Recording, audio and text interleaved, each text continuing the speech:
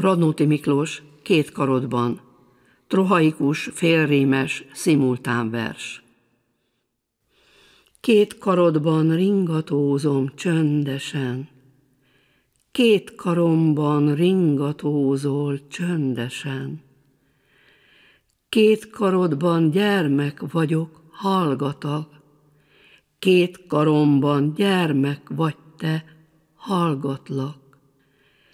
Két karoddal átölelsz te, ha félek, Két karommal átölellek, s nem félek. Két karodban nem ijeszt majd a halál nagy csöngyesem. Két karodban a halálon, mint egy álmon átesem.